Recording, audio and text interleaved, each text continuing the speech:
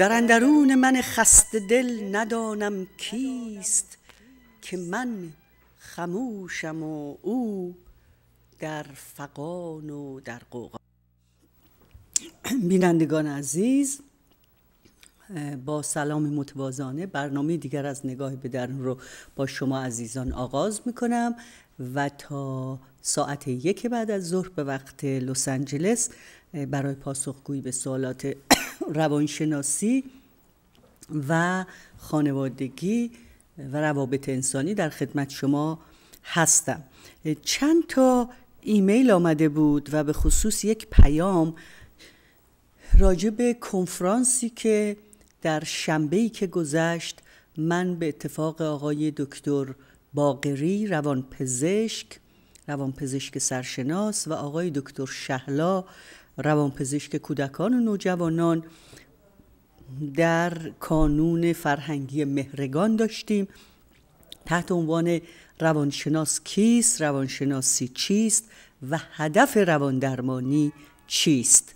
این کنفرانس که خیلی با استقبال روبرو شده بود برگزار شد و تو این ایمیل ها از من خواستن که آیا چکیده این رو ما می‌تونیم برای دوستانی که ایمیل زدن که گفتن بر ما ایمیل کنین که خب این کار از عهده من و وقتی که من دارم بر نمیاد. ولی که من موفق شدم که تقاضا کنم یک کپی از فیلم این کنفرانس که گرفتند در اختیار من بذارن و از دو سخنران دیگر هم اجازه گرفتم که این رو روی وبسایت خودم می‌گذارم برای کسانی که عضو وبسایت هستن و می‌تونن ببینن. ولی به طور خیلی خلاصه آقای دکتر باقری راجع به تاریخچه روانشناسی علمی و نقش روانپزشک و همکاری روانپزشک با روانشناس صحبت کردن. ایشون راجع به خدمات نابجا که ایشون لغت شارلاتانیزم رو به کار بردن برای غیر متخصصینی که از ناآگاهی اجتماع استفاده می کنند و در پوشش خدمات روان درمانی روان پزشکی به اصطلاح شیوه های غیر علمی رو مبنای یک کار علمی قرار میدن صحبت کردند. و سپس آقای سپس من بودم که راجع به اینکه اصولا روان درمانی قرار چه بکنه و روانشناس چه کارهایی رو باید بکنه صحبت کردم و مسئولیت ها و محدودیت های روانشناس رو مطرح کردم و آقای دکتر شهلا هم با تغییراتی که در کاربرد psychotherapy به وجود آمده در این field اشاره کردن و ایشون هم تاکید کردند برای اینکه مهمترین مرحله انجام یک خدمت درمانی درست انتخاب شخص ذی صلاح است. این فیلم رو در سایت خودم بعد خواهم گذاشت تا دو سه هفته آینده. مرسی خداحافظ. از کی خداحافظی کردم؟ از دوستانی که ایمیل زدن. بفرمایید خانم. بفرمایید با شما هستم. من میرم رو خط دیگری. بفرمایید. بله. الو. بفرمایید. سلام عرض کردم خسته نباشید. سلام آقا بفرمایید. خانم دکتر در مورد یه مقداری حالت فوبیا یا ترسی که به وجود میاد. صدای شما بسیار مبهمه. با تلفن دستی صحبت می‌کنید؟ بله بله. خب تلفنتون صداش خوب نیست. لطف فرمایید توضیح بدید در مورد ترس از روی ارتفاع در صورتی که اون فرد قبلا مسئله و مشکلی در این مورد نداشته و الان یه مقداری در رانندگی روی پلهای فریوی یک مقداری حالت استراب شدید و تپش قلب به وجود میاد. اون وقت این شخص حادثه ای داشته؟ تصادفی داشته؟ حادثه ای داشته نخیر بله. یعنی به طور عادی بدون اینکه هیچ تغییری تو زندگیش به وجود بیاد قبلا این ترس رو حراس رو نداشته حالا داره. بله. البته سالیان پیش یک حالت انگزایتی اتک به وجود, بله. وجود داشته.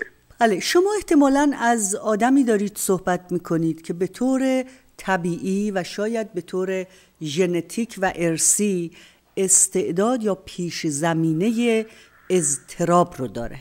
خب و این آدم هر وقت تحت استرس قرار می‌گیره یا احتمالا تغییرات بیوشیمی خون تغییرات بیوشیمیایی خون یا استرس شدید. سبب میشه که به اصطلاح نشانه های حالت اضطرابی ظاهر بشه. زیر چتر اضطراب ما ترس ها رو داریم ما اختلالات سایکوسوماتیک یا بیماری های روانی تنی رو داریم ما وسواس رو داریم چه وسواس های فکری چه وسواس های عملی و خود اضطراب یا پنیک اتک رو داریم. که اینها همه زیر چتر اضطراب یا اختلالات اضطرابی قرار می‌گیره. اخت... اضطراب رو دو چیز فعال می‌کنه. یکی تغییرات بیوشیمیایی بدن یا خون. دوم تغییرات تند و تیز یا نوسانات تند و تیز فضای زیست انسان یا تغییرات ناگهانی که شرایط زندگی فرد رو به اصطلاح دگرگون می‌کنه. حالا هر کدوم اینها هست در زندگی این فرد باید با یک روانشناس صحبت کنه و علت شناسایی بشه. گاهی مصرف بسیار کوتاه مدت داروهای ضد افسردگی و ضد استراب به خوبی این حالت رو کنترل و منیج می‌کنه. بله. سوالی که حضورتون داشتم خانم دکتر رابطه رابطه جنسی. بله. چه چقدر موثر می‌تونه باشه؟ اگر کم شده باشه از حدی که در, در قبل وجود داشته باشه. خب ببینید خود رابطه جنسی اصلا عمل جنسی رابطش با اضطراب به دو شکله که هر دوشم عادی نیست. یکی سبب بیمیلی و عدم قدرت برانگیختگی سکسی هست به خصوص در مردها. به عبارت دیگه اونها آماده رابطه جنسی نمی‌تونن بشن. یک به این صورت ظاهر میشه. و دوم به شکل زیاد خواهی رابطه جنسی که رابطه جنسی با کیفیت واقعی و طبیعی و عادی هم نیست.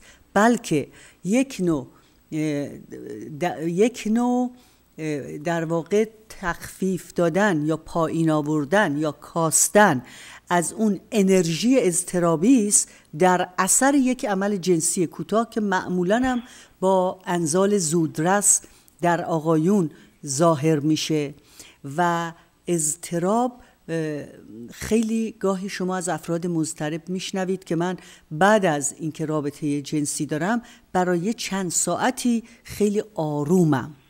به این دلیلم هست که مثل هر آرام بخش دیگه یک نوع دیپندنسی یا یک نوع اتکاب وجود میاره برای اینکه اون شخص اون چیز رو بیشتر و بیشتر بخواد.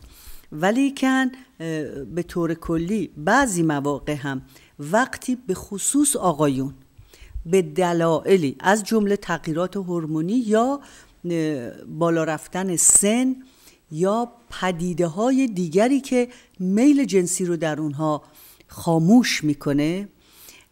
بسیاری از آقایون در این شرایط بیشتر اضطراب پیدا می‌کنن. مضطرب میشه یعنی مثل مرغ و تخم مرغ پس و پیشیش اونقدر قابل تفکیک از یکدیگر نیست. چون خودشون رو از نظر جنسی یا توان جنسی مثل سابق نمی‌بینن یا نگران میشن که همسرشون رو یا زوجشون رو یا همراه جنسیشون رو جفت جنسیشون رو نمی‌تونن راضی کنند خود این هم مبنای یک اضطرابی میشه و همین اضطراب دچار یک حلقه معیوب دوباره همون توان کاهش یافترم کاهیده تر می‌کنه. نه خانم دکتر سوال من برعکس بود. کمبودش اگر فرد بتواند و کمبود داشته باشه اون وقت چه مسائلی رو به وجود میاره؟ نه من اتفاقا همینو عرض کردم. گفتم اگر یه نفر کم گفتم بعضی موقع ها از سکس استفاده می‌کنم برای تق... آرام کردن اضطراب یعنی ضد انگزایتی سکس رابطه سکسی که کیفیت یه سکس طبیعی و نرمال هم نداره.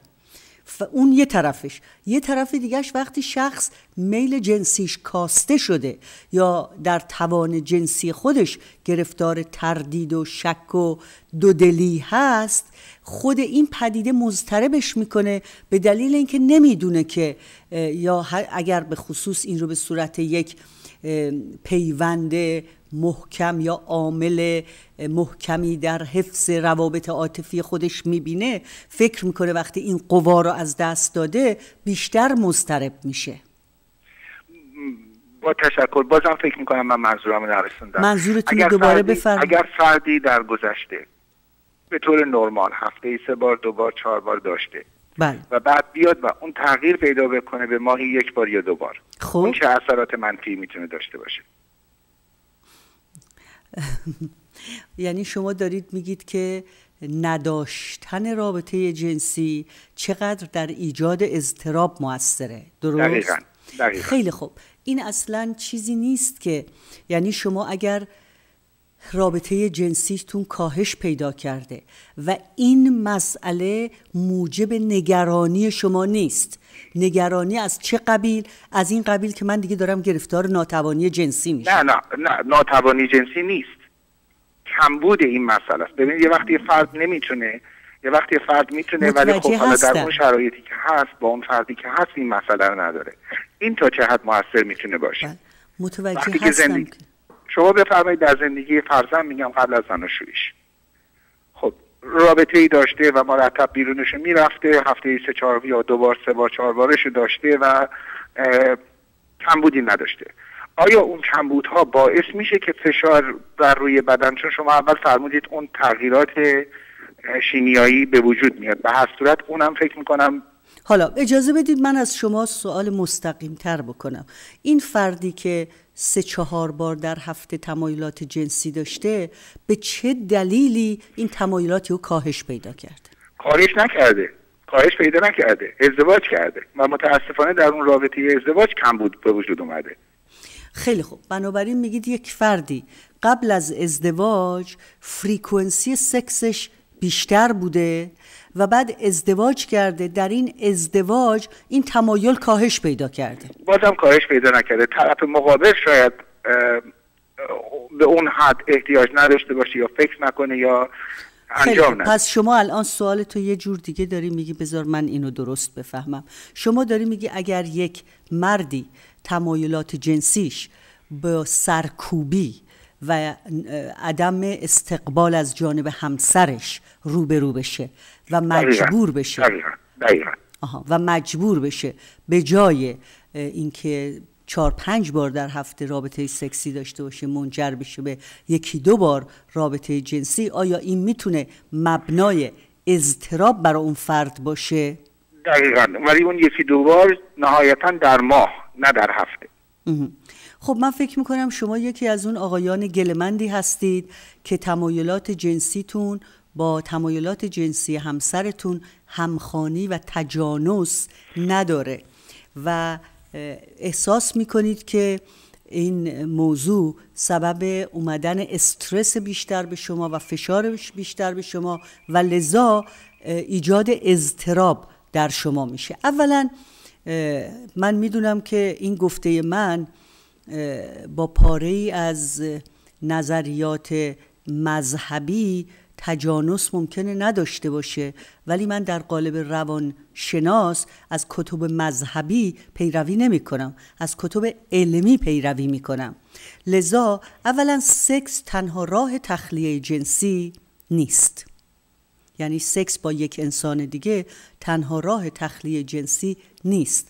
بلکه شیوه های خودرزایی یا مستربیشن از شیوه هایی هست که بسیاری از افراد به هنگام عدم دسترسی به روابط جنسی از این شیوه برای ایجاد بلنس و کاستن از استرس استفاده می‌کنن. حالا نکته دیگر این هست که اگر یک زن و مردی تجانس جنسی ندارن به دلیل به اصطلاح فریکونسی یا تعداد دفعات کاری که می‌تونن بکنن این هست که با هم رو این مسئله بیشتر کار کنند.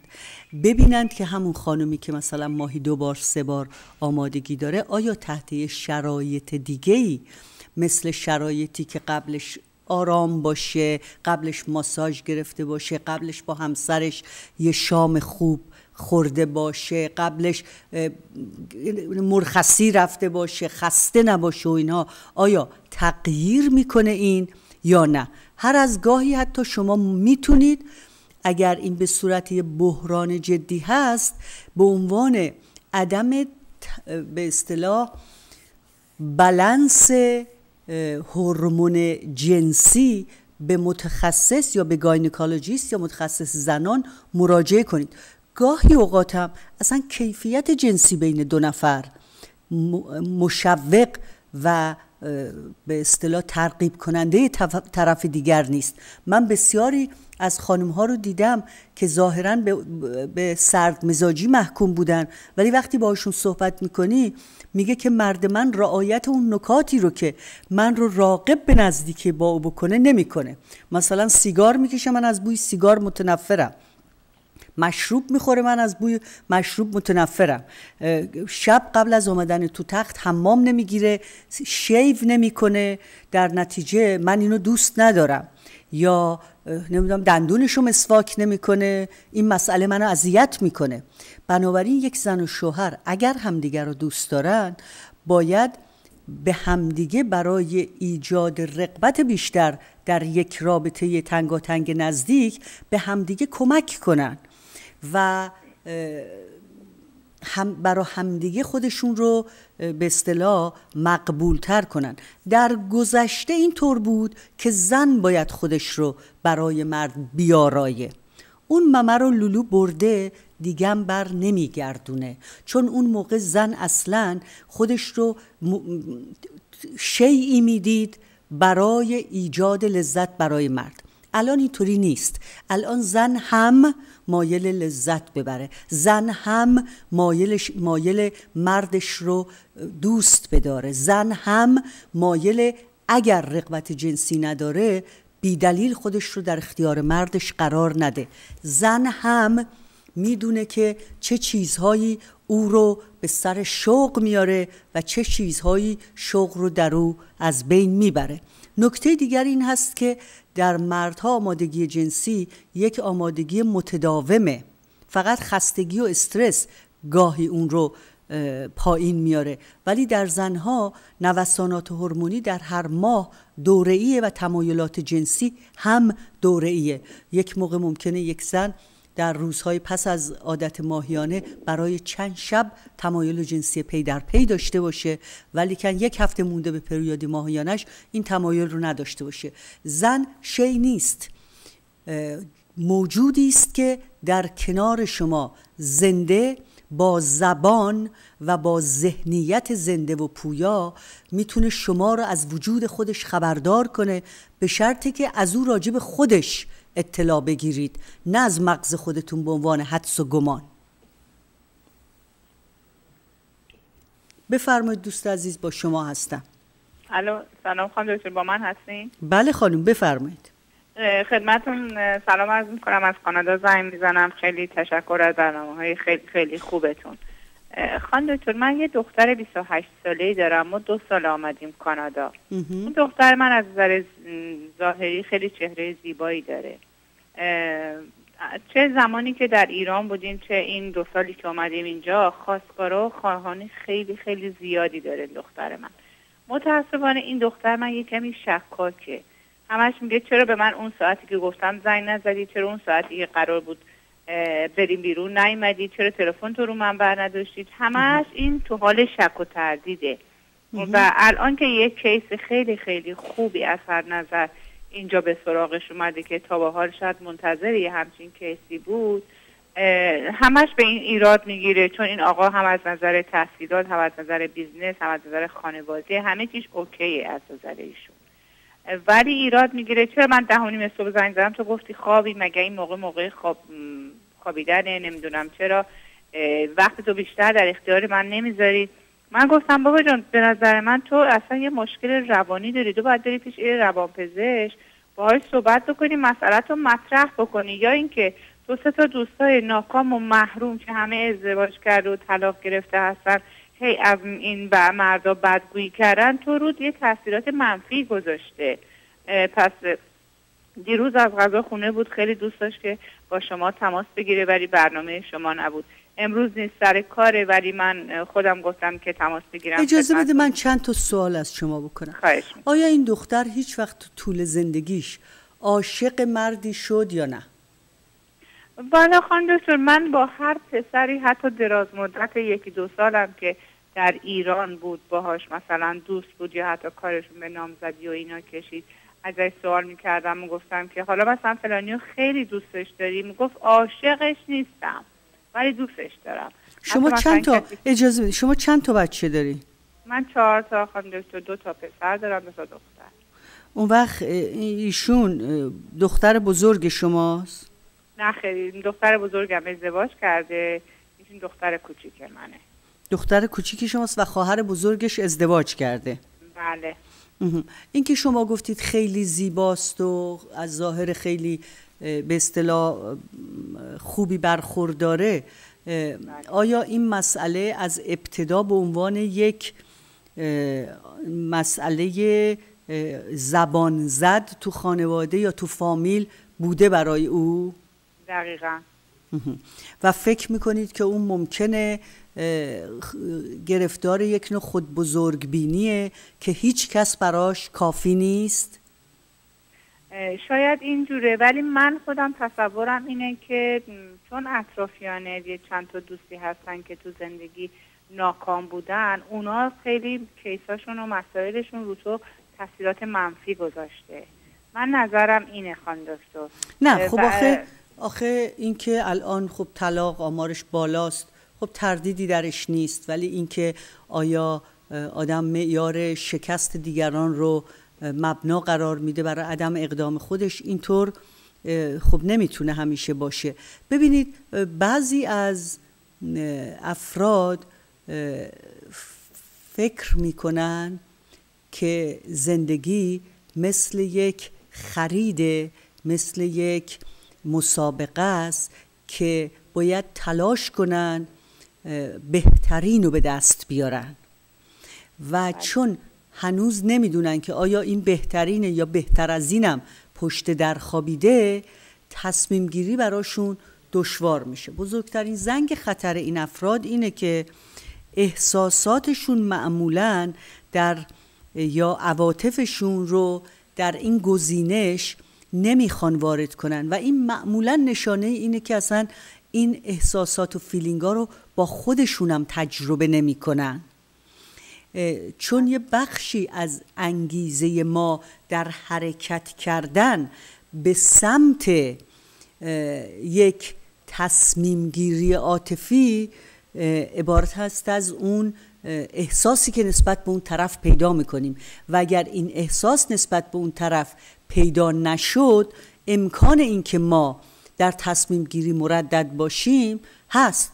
چون اون موقع دیگه می‌خوایم یه چیزی رو بخریم که فرقی هم برامون نمی‌کنه. حالا چه بهتر که به عنوان بهترین ها بنشینیم. گاهی اوقاتم بچه که از بچگی خیلی رو ظاهرشون بهشون امتیاز داده میشه و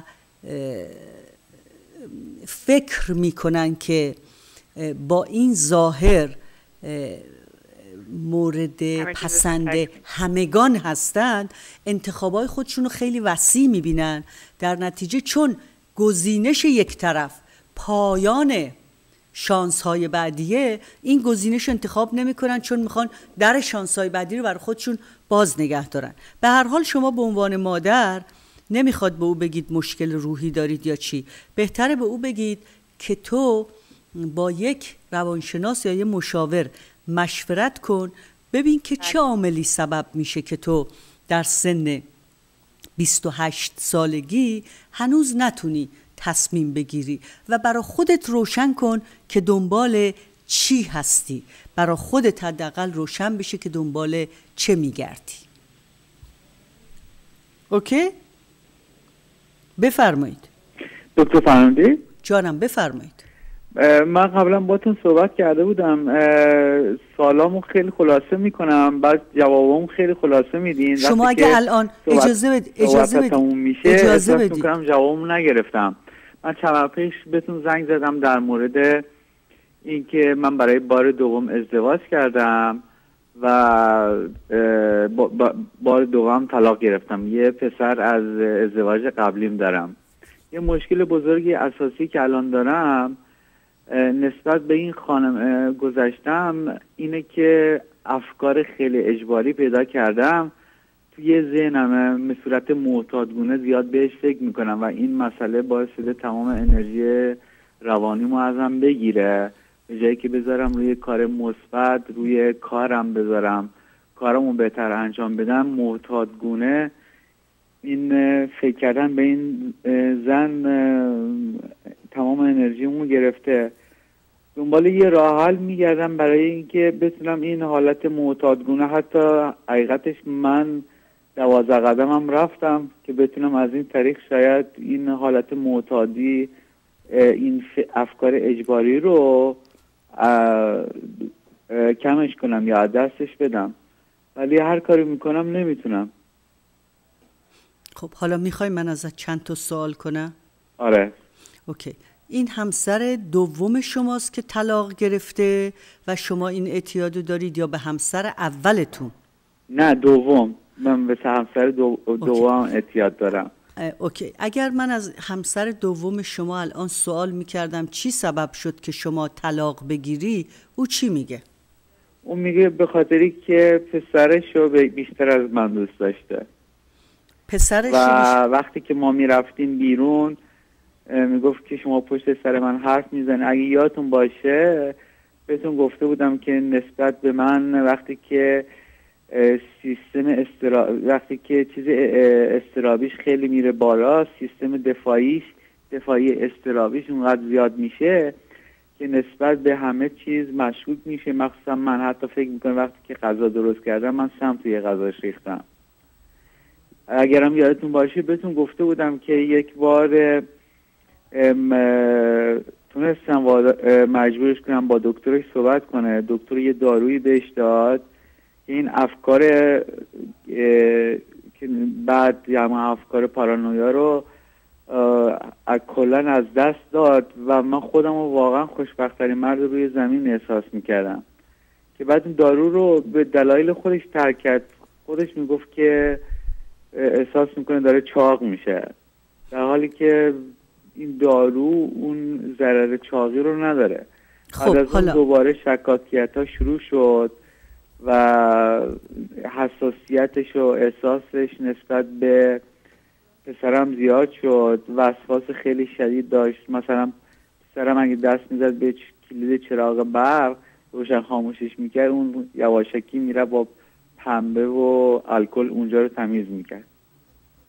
خب حالا این همسر الان یه چیزی که میگم متاسفانه یه رفتنش هم یه رفتنی بود که یه احساس بیارزشی بهم داد. یه بار از سر کار اومدم بعد از یه گفتگو خیلی خیلی سطحی سطحی البته دید من شاید برای اون زیاد بود. چون به خاطر که پسرم پیش من زندگی نمی‌کنه باید اون تعطیلات یه هفته می اومد پیش من.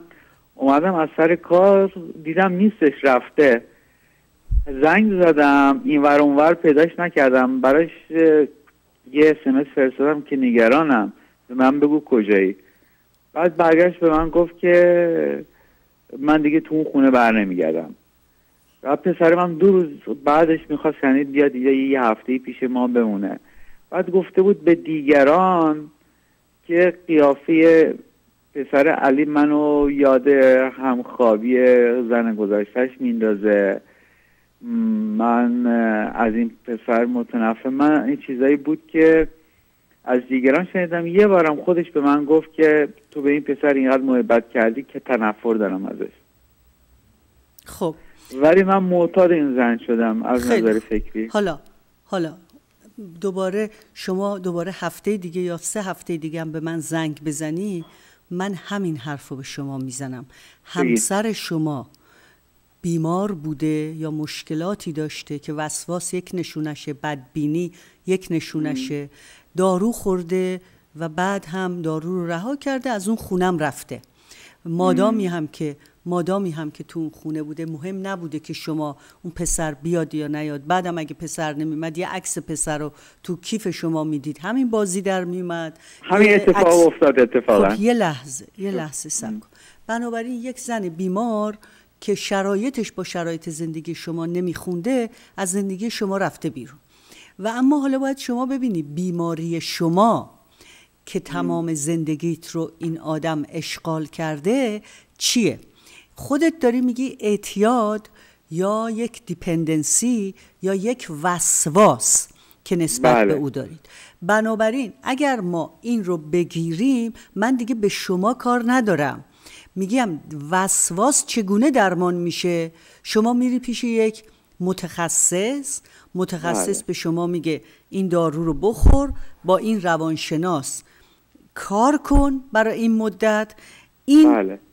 بر تغییرات هم در برنامه زندگیت به وجود بیار و ادامه بده به زندگیت حالا اگر شما میگی من این کارا رو نمی‌خوام بکنم دنبال این میگردی که از پای یه برنامه تلویزیونی به شما یه راه حل یا یه راه نجات داده بشه این کار غلطه. همچین مدلی وجود نداره. همچین کاری من نمی‌تونم بکنم. من فقط می‌تونم به شما بگم. الان حقیقتش تمام این چیزا که میگی من میبخشید حرفتون قطع. بفرمایید. من حرفتون قطع می‌کنم من پیش دکتر رفتم دارو هم گفتم و دارو رو بهم داده. احساس می‌کنم یه مقدار کمکم کرده. ولی می‌خواستم اینم تکنیکی شما دارین برای جلوگیری از افکار اجباری. شما من یک سیدی دارم راجب اضطراب و افسردگی اون تو از تکنیک های استاپ و استارت یاد کردم. اون تکنیکا برای اینکه شما بتوانی کنترل افکار منفی خودکار رو در ذهنت بر عهده بگیری اون تو هست. ولی داروی دکتر رو باید ادامه بدی و از نزدیک با یک روانشناس کار بکنی. من فکر می‌کنم که شاید در پاره ای از موارد یه فکر وسواسی مونس ما میشه اگر اونو کنار بذاریم تنهایی ما رو اذیت می‌کنه. بنابراین آره. برای این مسئله شما باید یک گروه یعنی با یک گروههایی با یه افرادی با یه دوستانی معاشرت داشته باشی که تنهاییت رو یه مقداری پایین بیاره احساس تنهاییت رو پایین بیاره. ورزش به شما خیلی می‌تونه کمک کنه. ورزش منظم روزی یک ساعت حداقل خیلی می‌تونه به شما کمک کنه. اوکی؟ ممنون. آره یک نکته رو اینجا لازم تذکر بدم. هفته گذشته پزشک نازنینی به من تلفن زدن که یکی از دوستان آقای دکتر نیما قربانی در دانشگاه تهران هستند. و ایشون به من گفتن که من در این برنامه خواهش کردن که من در این برنامه آقای دکتر قربانی رو به عنوان روانشناس مورد اعتماد یا روانشناس به اصطلاح وارد به کار خودشون تو تلویزیون معرفی نکنم چون این سبب شک های و تردیدهای نسبت به آقای دکتر قربانی شده که با من که دارای افکار جنبش سبز و حقوق بشری هستم ایشون نسبتی دارند. و این موجب این شده که به اصطلاح دولتی ها به حال برای ایشون مسئله بسازند.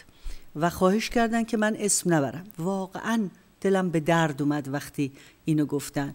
چون فکر کنید من اصلا این دکتر رو ندیدم در عمرم. یک بار با من حتی تماس تلفنی ایشون نداشته.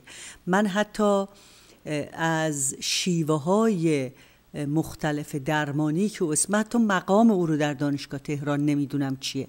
فقط وقتی چند تن از مریضای ایشون اینجا در آمریکا به من مراجعه کردن و مسائلشون و شیوهی که این دکتر درمان کرده بود به من گفتن او رو آدمی وارد در کار خودش یک کارشناس وارد در کار خودش شناسایی کردم. و چون قرض و مرضی با کسی ندارم. تا امروز که من پشت این بلنگو هستم تا امروز که سی و یک سال سی و دو سال از مدتی که کار روانشناسی می کنم گذشته من در سال 75 فارغ و تحصیل شدم. گذشته تا امروز که من با شما صحبت می کنم هرگز با یک نفر که مراجع بهش ریفر کردم یک چای رد و بدل نکردیم. من جز اون دکترایی نیستم که یه چند تا اسم داشته باشم و معرفی کنم و از زیر میز تمنای زیرمیزی و پول و غیره داشته باشم یا حتی تمنای اینو داشته باشم که اونام بر من مراجعه بفرستن. ابدا همه عمرم هر وقت متخصصی رو پیدا کردم که گمان بردم کارش خوبه. بر اساس اطلاعاتی که داشتم در اسمش رو در اختیار عموم گذاشتم که از تخصصش استفاده کنم به خصوص در ایران امروز. که کسانی میشینن بر اون سکو نصیحت می‌کنن و موعظه می‌کنن که باید بالای منبر باشن نه تو مطبع روانشناسی. به هر حال من این رو گفتم که این آقایونی که به این دکتر جوان فکر می‌کنم یا نمی‌دونم میان سال هیچ نسبتی با من ندارن و منو, منو نمی‌شناسن. منم ایشون نمی‌شناسم. اسمشون اگر بردم به خاطر این بوده که کارشون رو مفید یافتم و واویلا به این کشور واویلا به این کشور که تازه عصبانی میشه که چرا اون رو به اوباش سالاری محکوم کردن. حالا برگردیم اصلا من کی هستم؟ آیا من یک عضویم که به حزب سیاسی تعلق دارم. انسانیم که به یه حزب سیاسی تعلق دارم. تا امروز که با شما صحبت می‌کنم هرگز عضو هیچ گروه سیاسی نبودم. آیا من فعال به اصطلاح سیاسی هستم که برای روی کار آمدن حزبی یا جناهی فعالیت می‌کنم؟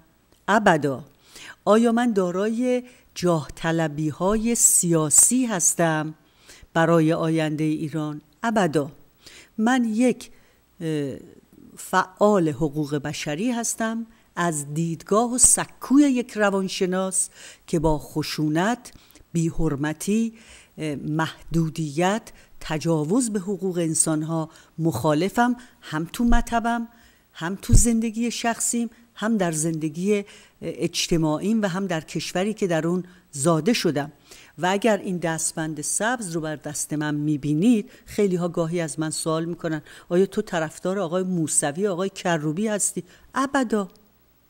من طرفدار جنبشی هستم در میان نیروی جوان ایران که دارای سه خواسته بر حقه. جدایی دین از حکومت. رعایت کامل حقوق بشر و غیر ابدی بودن غیر موروسی بودن غیر ابدی بودن غیر دائمی بودن کسی که بر مردم حکومت می‌کنه. به عبارت دیگه انتخاب مسئول از جانب مردم و خلع اون مسئول از جانب مردم که مردم سالاریه بنابراین جدایی دین از حکومت رعایت حقوق بشر و مردم سالاری. به این دلیل این دستبند دست منه هیچ ربطی نداره که چه کسی تا چه زمانی به این آرمان اگر وفا داره.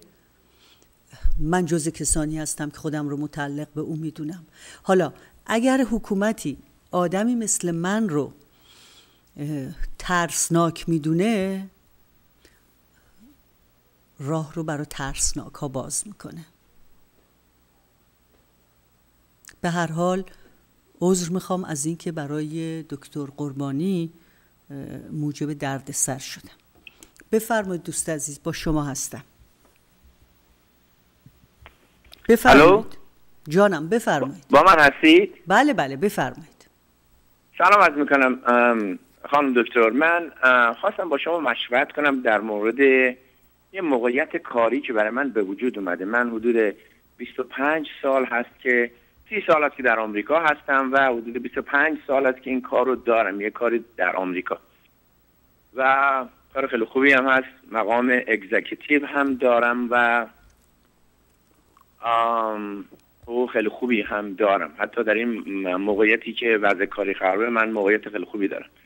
یه موقعیت تقریبا هم هم هم مثل همین موقعیت خودم و شاید یه مقدار از نظر مادی بیشتر در ایران برای من به وجود اومده که که از آشنای ما که به اصطلاح اطرافیان خانم من هستن موقعیت بزرگی رو در ایران سرمایه گذاری بزرگی در ایران کرده. من دوست دارم که من برم اونجا مدیریت کنم. برنامهشون رشته من hospitality هست. با وجودی که بعضی من البته اومدن اینجا و با من صحبت کردن و منم ایران رفتم دیدم موقعیت سرمایه گذاریشون رو. خب برنامه خیلی خوبی هست که از سرمایه گذاری های بزرگ در ایران هست. من حالا موندم با موقعیت خوبی که دارم برم این کار رو قبول کنم یا نه. یکی از دلایلی که من رو attractive می‌کنه با این کار یه موقعیت بزرگتری هست. یه چلنج جدیدی هست برای من. تو بعد یک راه های دیگه برای من باز خواهد کرد. هرچند که من الان در موقعیتی که هستم در ایران در آمریکا در سالهای تقریبا پنج 6 سال دیگه سالهای بازنشستگی من میشه. بنابراین من حس می‌کنم که این موقع یه موقعیت یه استپ جدیدی برای آینده من در ایران شاد باشه یا و اینو attractive هست برای من. و ولی شک های مخصوص خودم هم دارم. در ایران کار کردن با قوم خویش کار کردن. الان تو دوراهی تقریبا گیر کردم. خواستم ببینم مشورتی می‌تونی شما من داشته باشید که این این تصمیم گیری رو برای من خود بهتر و راحتتر کنید؟ بله بذارید من چند سوال از شما بکنم. شما مجرد هستید؟ نه با, با خانمم هستم و OK. خانمم خیلی علاقه داره که ایران باشه پهلو مادرش باشه و خانوادهش باشه و این خیلی و این پس یک عامل position از طرف خانواده ایشون هست من. بله. پس یک عامل اینجا الان به عنوان عامل مهم شناسایی شد و اون تمایل یا رغبت همسر شما برای رفتن به ایرانه. حالا بله. خود شما کیفیت زیست ایران و آمریکا رو چگونه برای خودتون مقایسه می‌کنید؟ شما کدومو بیشتر دوست دارید؟ البته خب تو آمریکا زندگی کردن آزادی خیلی زیادی هست. یعنی که از, از من فوق لیسانس هستم فوق لیسانس مدیریت ام بی ای و و تمام مدارکم رو هم اینجا گرفتم. ولی به کالچر و فرهنگ و غذا و محیط ایران خیلی علاقه دارم. من رئیس به ارگانیزیشن منطقه خودم هستم. برنامه ایرانی می‌ذاریم اینجا ایرانی ها رو دور هم جمع می‌کنیم. با ایرانی ها بودن آهنگ ایرانی محیط ایرانی غذای ایرانی خیلی دوست دارم. خیلی علاقه دارم. خیلی و خیلی موفق هستم در کارم در آمریکا. خیلی خوب. حالا. هم آمریکا رو دوست دارم من مردم اینجا رو دوست دارم و هم ایران رو. خیلی خوب. من سی سال از ایران خارج هستم. بله. مسافرت مرتب می‌کنم ایران هر چند سالی خانم من چند سال میره من خودم هر دو سالی سه سالی که وقت کنم میرم ایران. خب به ما توریستی عشق و علاقه میدن توجه می‌کنن غذاهای مختلف میدن. و ما خیلی خوشحالیم. حالا سوال بعدی ولی خب بفهم اجازه بدید. سوال بعدی من. شما فرزندانی هم دارید؟ خیر. پس مسئله فرزندان در ازدواج 15 16 سال ما فرزندی ندارید فرزندی ندارید. اوکی. حالا سوال بعدی من اینه که آیا اگر شما به ایران رفتید امکان بازگشتتون به آمریکا و به دست آوردن شرایطی نسبتا شبیه شرایطی که الان دارید فراهمه یا اینکه نه پلهای پشتتون خراب میشه؟ از نظر فینانشیال من پنج تا خونه دارم و اینجا هم well set هستم. ولی کاری که من دارم executive شما می‌دونید تو آمریکا الان بعد از 25 سال که برای این کمپانی کار می‌کنم مقام من مقام خیلی بزرگیه. و توی این منطقه وضع به اصطلاح اقتصاد به اصطلاح ناسالم. اقتصادی که الان خوب نیست. من این position هیچ وقت بخوام برگردم نمی‌تونم داشته باشم. خیلی حالا. بفرمایید. حالا. بحث بر سر اینه که به نظر من می‌رسه که شما تا اونجایی که دوست داشتی بالا بری از نظر شغلی و اون حالت رفاه مالی که دوست داشتی به دست بیاوردی به دست میاری. و ضمن بله. حرفات من احساس کردم که دل و حال تو در ایران خوشتره من تصمیم نهایی رو شما باید بگیرید و روانشناس بله. یکی از کارهایی که نمی‌کنه اینه که به کسی نمیگه تو چه کاری بکن بله ولی بله. من همینطوری در مجموع وقتی خودم رو جای شما گذاشتم برای لحظه فکر کردم که خب در اینجا شما نردبان ترقی رو طی کردید اول. ورودتونم به ایران ظاهرا این نردبان ترقی اونجا آماده است برای شما.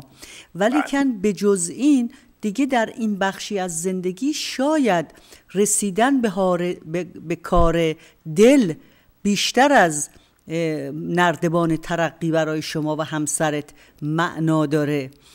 و اگر دلت بهت میگه که این کار رو بکنی به شرطی که اون مسائل کار کردن با فامیل رو تا جایی که میشه پیش بینی کنی.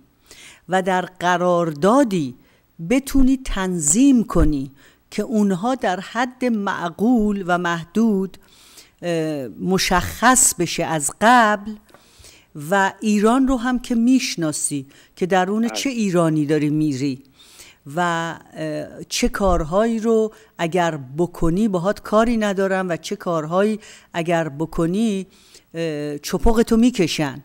بنابراین با آگاهی از همه اینها خودت رو بذار در یک گزینه کاملا فکر شده و هر تصمیمی که انتخاب کنی بعد از این تفکر شما دارای امکانات زیاد هستی.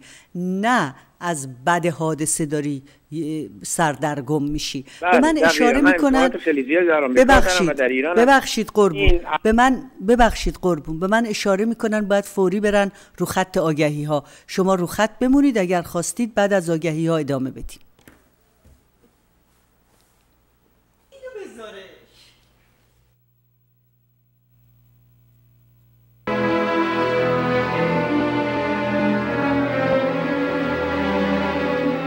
در اندرون من خست دل ندانم کیست که من خموشم و او در فقان و در قوقاست مرکز سمینارهای دکتر فرنودی تقدیم می کند الفبای پدری و مادری اصول زناشویی و گزینش همسر تیپ شخصیتی اعتماد به نفس و حرمت ذات. از خودشیفتگی تا عشق و صمیمیت رهایی از افسردگی و استراب شما و نوجوانان هفت شهر عشق. برای تهیه با کردیت کارت به وبسایت www.drfarnodi.com و یا با تلفن های 310 701 44 11 و 310 967 81 80 تماس بگیرید.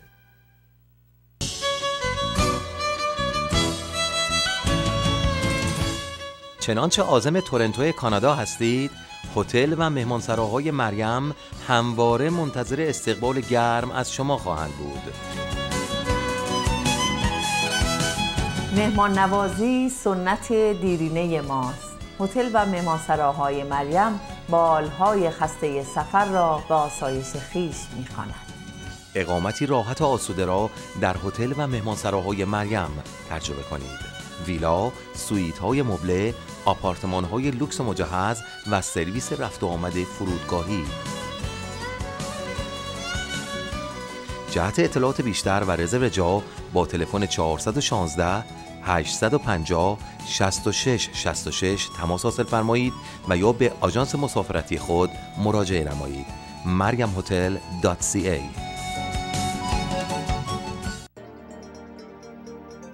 مهاجرتی با آرامش و موفقیت را تجربه کنید با می شاهید و 18 سال سابقه مشاوره و صدها پرونده موفق به علاوه سرویس های ویژه پس از ورود به کانادا با می شاهید تماس بگیرید تورنتو 905 770 92 98 دبی 97 14 329 66 84 امور مهاجرتی خود را به ما بسپارید We deliver Canada to you. We deliver Canada to you. سنتری 21 هما خلجی مشاور آگاه شما در امور املاک مسکونی، تجاری و سرمایهداری زمان زمان خرید است. به جای پرداخت اجاره با خرید خانه یا ملک مورد نظرتان برای آینده خود سرمایه گذاری کنید. راهنمایی و تحصیلات برای تازه واردین به کانادا. برداشتن شرط تجاری توسط تیم مجرب ما. شماره تماس 416 569 1003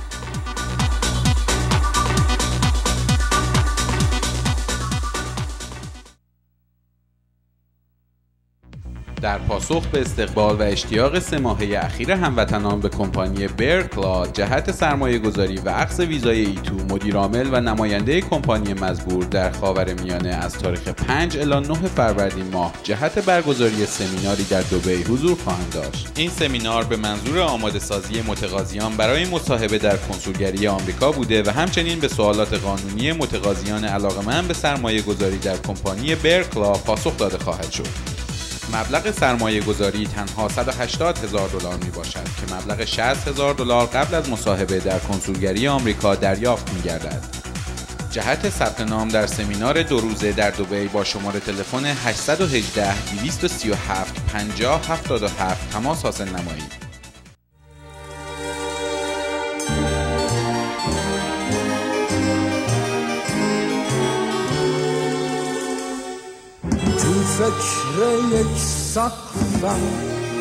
خرید یا فروش هر نوع املاک و مستقلات از لس آنجلس تا سندیگو را از طریق بیژن افتخاری کارشناس ارشد اقتصادی انجام دهید دانش و تجربه ما را در خدمت بگیرید و با خیالی آسوده معامله کنید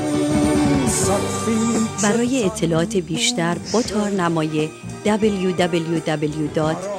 افتکاری و یا شماره تلفن یک 877 739 77 94 تماس بگیرید. یک 877 739 77 94 Silky Health and Beauty Clinic. به مدیریت آرزو حاتمی متخصص استئوپاتی و طب سوزنی. خدمات زیبایی سیلکسی از بین بردن موهای زائد و رگهای واریسی توسط جدیدترین دستگاه لیزر.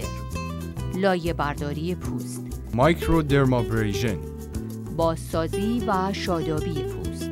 photo rejuvenation لاغری موضعی و تناسب اندام.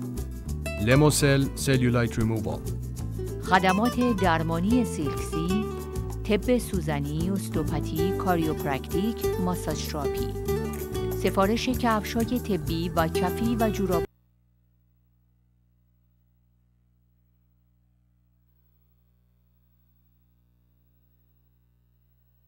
پای واریس پذیرفته می شود. در سیلکسی مشاور رایگان و انواع بیمه ها مورد قبول می باشد. کلینیک سیلکسی واقع در 10148 خیابانی یانگ. شمال میجر مکنزی. تلفن 905 770 78 69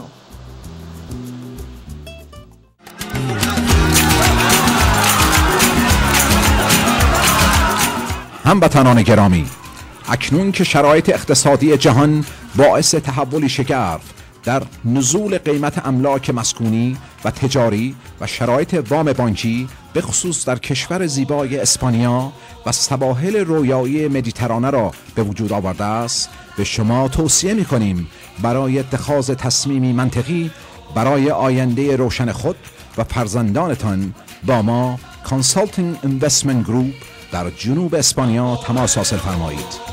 شرکت Consulting Investment Group با مشاورین فارسی زبان در جنوب اسپانیا شما را از بهترین شرایط خرید املاک مسکونی و تجاری با وامی تا 80 درصد برخوردار می نماید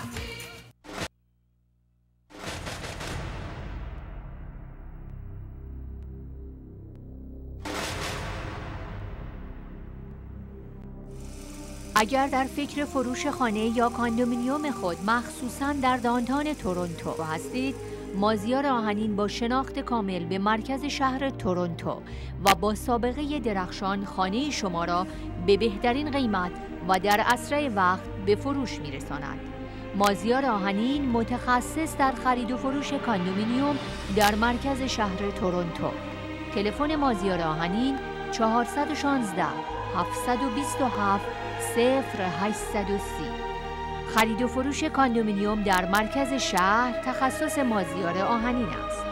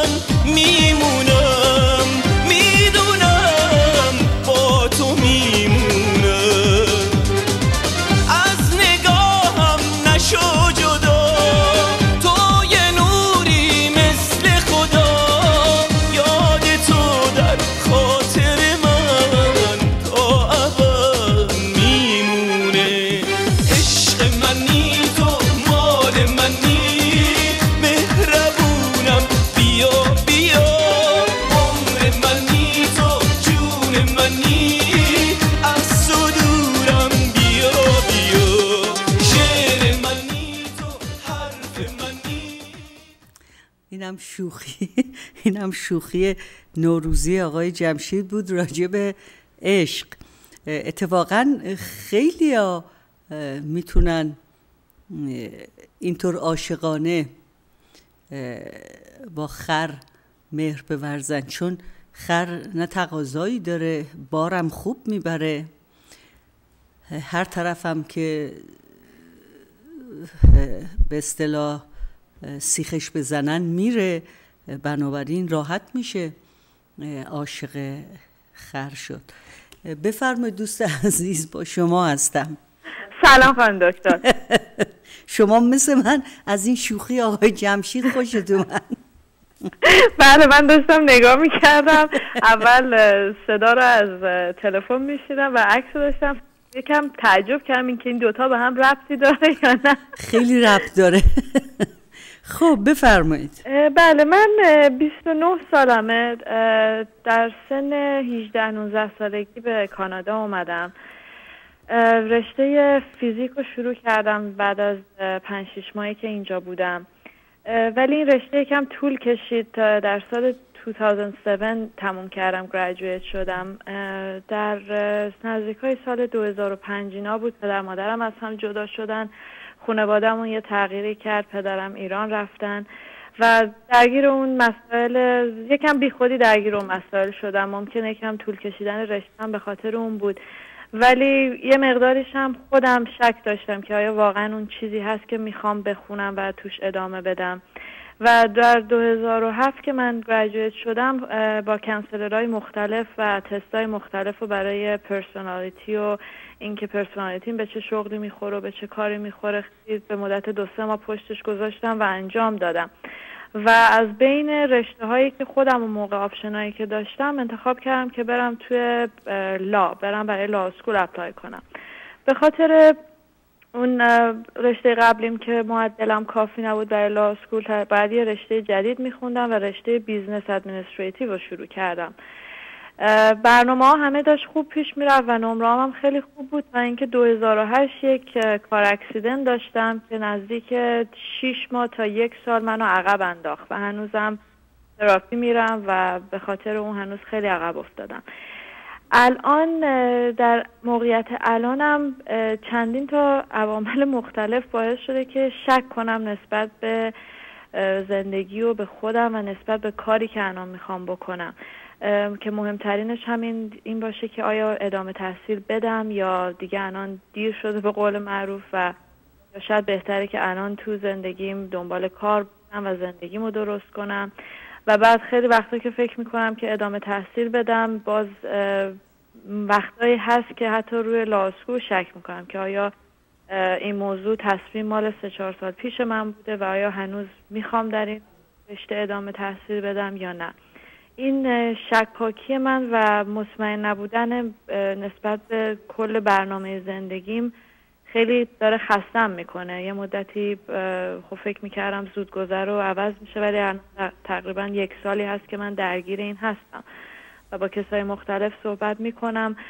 خب خیلی هم میگن نه سن مهم نیست و هنوز سن ازدواج دیر نشده ولی خب خودم از یه جهاتی فکر می‌کنم که خب بالاخره فامیلی و داشتن فامیلی همیشه برای من مهم بوده این فاصله ای که بین این قضیه افتاده و برنامه هم اونطوری که می‌خواسته پیش نرفته این شک رو تو من به وجود آورده. خب حالا سوالت از من چیه؟ سوال من اینه که از چه راهی باید وارد بشم که اولا این شکم برطرف بشه و آیا شکم درسته یا ام، اشتباهه یا بعد رو اون برنامه قبلیم پیش بذار برم. من ازت بذار من ازت یه سوالی کنم. هیچ بله. دوره تو زندگیت گرفتار افسردگی بودی؟ من بعد از این جریان تصادف منو دیاگنوز کردم برای دیپرشن و الانم مدیکیشن استفاده می‌کنم. بله. شما می‌دونی شما می‌دونی یکی از ویژگی های افسردگی شک و دودلیه. بله. و در افسردگی اون سیستم به اصطلاح موتیویشنال دوپامین یکی از سیستم های موتیویشنال مغز دوپامین تغییراتی می‌کنه به شکلی که شما رو مثل این که نسبت به هدف گاهی اوقات شوقمند می‌کنه گاه این شوق رو ول می‌کنه. بله. بنابراین من اگر جای شما باشم قبل از هر چیز دنبال درمان افسردگیم رو می‌گیرم نه به عنوان اه، درمان تا اون حد که بتونم درس بخونم یا کار کنم یا را برم یا مهمونی برم بلکه ریشه کن کردن افسردگی. بله. چون شما خب تو خانوادم یه نابسامانی ها بریدگی های عاطفی یه زمینه و استعدادی برای این افسردگی درت به وجود میاره. اول برو دنبال ریشه کن کردن افسردگی. بله. و یکی از کارهایی که در درمان افسردگیت به کار بگیر ورزش بسیار زیاد. بله. و بعد از اینکه شما افسردگیت از بین رفت اون وقت ببین که واقعا اگر می‌خوای از طریق روانشناسی این اپتیتیود تستا رو یا تستایی که نشون میده شما به طور طبیعی برای چه کاری خوبی؟ بله. که بدون اینکه زیاد ازت بخواد انرژی بگیره اون کار رو می‌تونی انجام بدی. و این کار رو بکن. بعد از اینکه مشخص شد حالا شاید اصلا شما خیلی هم جز اون آدمایی نیستی که باید فیل هوا کنی.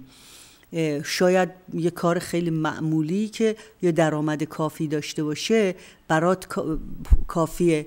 یا شاید اصلا ترجیح بدی که یه کار عادیتر مناسبتر برای زنی که می‌خواد تشکیل خانواده بده پیدا کنی. به هر حال با یه روانشناس یه مدتی کار کن.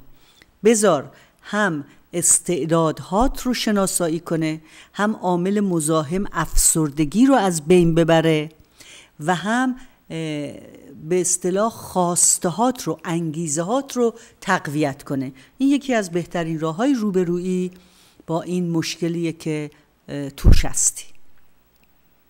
اوکی بفرمایید. هلو الو. بفرمایید. الو سلام خانم دکتر بفرمایید بلندتر صحبت کنید. ببخشید من تقریبا چهار ماه ازدواج کردم یعنی عقد کردم هنوز عروسی نکردیم از ایران هم تماس می‌گیرم. بله. بعد الان توی دوراهی موندم. تقریبا پشیمون که نه میشه گفت از ادامه میترسم. چون احساس می‌کنم چیزایی که از دست دادم به اندازه چیزایی که به دست آوردم نبود. بعد مثلا من یه برنامه‌هایی سب کن یه سوالی ازت. ب- یه سوالی بله. بکنم. یه سوالی بکنم. این چیزایی که اندازه گرفتی که از دست دادی یا به دست آوردی با چه نوع ترازویی وزن کردی؟ با قپون به اصطلاح قصابی یا با ترازوی جواهرکشی؟ نه خب بالاخره یه سری دردسرا و مشکلاتی که داره اون راحتی که قبل از ازدواج بود. بعد یه سری دیگه مثلا احساس می‌کنم اصلا خودم پیشنهاد دادم خودم انتخاب کردم. ولی بعد از دو هفته صحبت فشار بیشتر از طرف اون بود که مطرح بشه مطرح بشه. خیلی بهم فشار آورد. مثلا حالت گریه و زاری هم رسید وقتی مطرح شد. حتی بهش گفتم من هنوز احساسی ندارم. گفت خب بعد پیدا میشه. حالا هم گذشته تا الان هنوزم احساس می‌کنم که هیچ احساسی به وجود نمیاد خیلی تو خوب ازت یه سوال. اجازه بده. اجازه بده من ازت چند تا سوال کنم.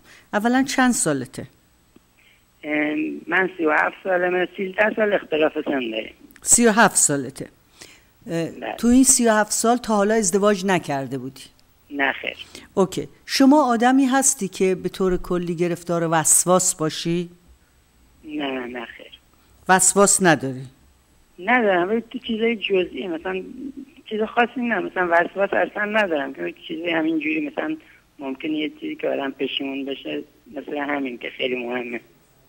نه اجازه بده. تا حالا غیر از این مورد ازدواج موارد دیگه ای هم بوده.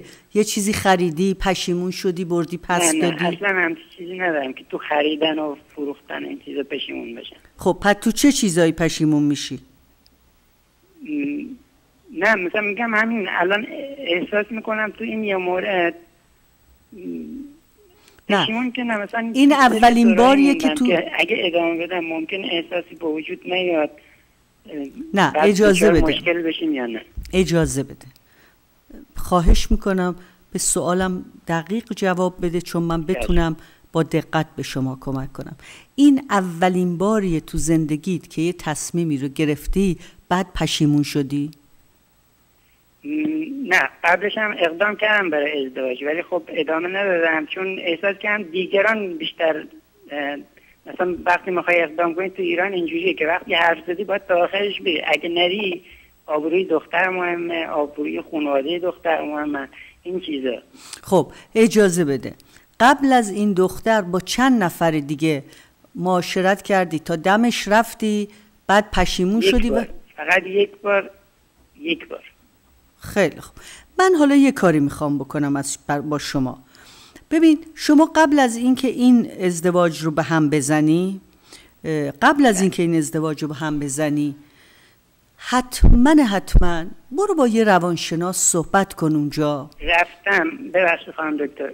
رفتم این کار کردم. خب. بهم گفت اگه اینجوری ادامه نده چون ممکنه بعدش هم پشمونای دیگه هم برات پیش بیاد. خیلی خوب. اون روانشناس چند دفعه با شما صحبت کرد؟ یک بار. خب من یه خورده من یه خورده با این راحت نیستم. چون من می‌خوام مطمئن بشم. بله ممکنه شما به این خانم علاقه من برای انتخابم راحت انتخاب کردم. ولی مثلا آدم اون من مت- متاسفانه سیدی های شما رو همه رو تو ایران دارم ولی متاسفانه هیچ برای خودم اقدام نکردم اون دستورات شما رو بگم. اون هفت سینی که اون چیز زناشوییه اون سین اولش رو اونو نداشت. یعنی من نداشتم سین اولش رو. بقیه رو همه رو به نس- نسبی یعنی به عبارت. دیگه نسبت به این خانم کشش و جاذبه جنسی نداشتی. تقریبا. خیلی خوب. یعنی مخصوصا الان چون من مثلا شاید پشت تلویزیون زیاد چیز نباشه ولی مثلا ببین من از موی بدن که رو دست و صورت و کلا رو بدن پا اینا باشه چندش دارم. مثلا این حالت مثلا احساس می‌کنم به اندازه یه پسر مو داره. هم. من اینا رو بهش از مستقیم نمیگم ولی حاضر چیزش کردم خیلی تلاش کردم که مثلا حتی از این لیزر و اینا هم خودم پرداخت کردم ولی بازم احساس می‌کنم شک و تردید دارم اگر اگر ببری و موهای بدنش رو لیزر کنن و اون نرمی و لطافتی رو که جستجوش هستی به دست بیاره فکر می‌کنی بقیه مسائل درسته؟ احساس می‌کنم از لحاظ خانوادگی مثلا اون چیزای فرهنگی اینا در آره همسطیم. نه سوال سوالم این بود که دوست داشتم مثلا بدونم که اگه ادامه بدم ممکنه بعد مشکل ساز بشه واسم حالا اجازه بده من هنوز یه سوال دیگه بکنم چشم. شما قبل از این خانم هیچ وقت با هیچ زن دیگه ای ارتباط جنسی داشتی؟ خب داشتم بالاخره کسی نمی‌تونه منکر بشه خب حالا نه دیگه یه موقع های بعضی ها می‌تونن منکر بشن. حالا خوبه که شما. خیلی خوب. پس بنابراین با زن دیگه ای در ارتباط بودی و این مسئله رو نداشتی. این مسئله فقط یه نوع بیرقبتیه که نسبت به این آدم وجود داره. من اگر جای شما باشم چون الان اگر بخوای از این زندگی بری بیرون ضرری که باید بدی چیه؟ خب بیشتر به فکر اونم تا خودم. خب چیه اون ضرر؟ ایران وقتی یکی تلاف می‌گیره به عنوان یه مت- متعرض به چشمی بد بهش نگاه می‌کنه اون وقت مهریه و اینا هم باید بدی؟ اون مشکل نیست حاضرم بدم ولی اون حاضر نیست بره کنار چون اون خیلی ابراز علاقه می‌کنه در صورتی که من احساس می‌کنم هیچ مثلا نه که دوستش ندارم ولی نمی‌تونم ابراز احساسات کنم نسبت بهش خیلی خوب. حالا من اگر جای شما باشم چون این ب- ببخشید خانم دکتر چون این برنامه رو گوش میده ال- البته الان نه تکرارش رو می‌ذارم گوش بده. اگه مثلا صحبتی هم که اون گوش کنه متشکرم اگه بگید. بله. ببین تو بچه زرنگی هستی. یعنی به حد لازم زبلی. میگی من این حرفا رو به اون هیچ وقت نزدم. بعد اومدی الان تو تلویزیون می‌زنی بعد می‌خوای بذاری اون بشینه نگاه, نگاه بکنه. نه بن- زدم خانم دکتر. ولی به طور مستقیم بهش نگفتم که بهش گفتم که خود قبل از عقدمون بهش گفتم که من هیچ احساسی ندارم. گفته به وجود میاد. الان تو بحثمون بهش گفتم که من قبلا این مورد رو بهت گفتم. تو خیلی خوب. حالا. الان الان اجازه بده. من به شما می‌خوام اینو توصیه کنم که حالا که این راه رفتی و این ازدواج رو کردی دو تا کار قبلش بکن. اولا با او همسرت دوتایی برین پیش یه مشاور زناشویی یا یه روانشناس و یه جلسه هم نرین. حداقل ده جلسه برین. حداقل ده جلسه برین. که مطمئن باشین هر تصمیمی بگیرین یا موندن یا ول کردن یه تصمیمیه که غیر مغرضانه و غیر خودخواهانه است. دوم اینکه الان برای اون مسئله مو این لیزرهای مختلف یک راه حل واقعیه. هزینش رو بپردازید. چون حتی او اگر شما نخواستید با او بمونید از این زندگی بره بیرون با از بین بردن موهای اضافی بدنش ضرر نمی‌کنه که. و یا در اون موقع رقبت در شما افزایش پیدا می‌کنه یا نه؟ اون مو هم یه بهانه برای یه عدم جاذبه که بین شما و او هست. به هر حال روانشناس رو برید از اون لیزرم او استفاده کنه تا ببینید رابطتون به کجا می‌کشه. اگر بعد از همه این کارها هنوز این بیرغبتی وجود داشت ثانیه‌ای در ترک این رابطه مکس نکنید. بفرمایید دوست عزیز با شما هستم. سلام خانم دکتر. سلام خانم بفرمایید. سرکار خانم دکتر من از جایگاه یک مادر شوهر دارم صحبت می‌کنم و یک نظریه از شما می‌خوام. یه پدر شوهر و مادر شوهر در حالی که فرزندشون ازشون دوره و قرار هست که برن بچهشون به مملکت دیگه ببینن اینا تا چه حد حق دارن که واقعا تو خونه پسر و عروسشون زندگی کنن و چه باید بکنن که مزاحمتی برای این زوج ایجاد نشه و اون حرمت مادر شوهری و عروس باقی بمونه. بله. این سوال شما در این حال اینکه یه سوال بسیار رایج و شایعه متاسفانه یک فرمول یونیفرم یا یک نسخه برای همگان نداره.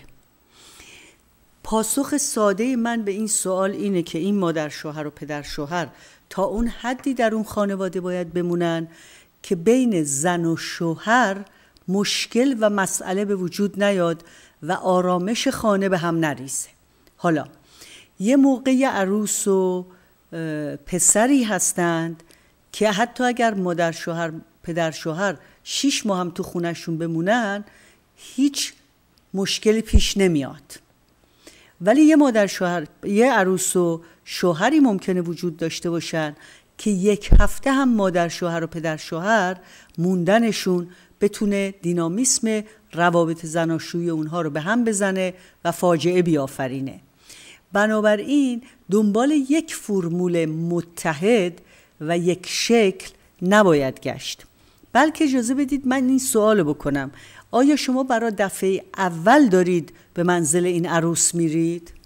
خیر دفعات قبل که شما به منزل این عروس و پسر رفتید آیا مشکلاتی به وجود اومده؟ خیر چرا پس این سوال اصلا مطرحه؟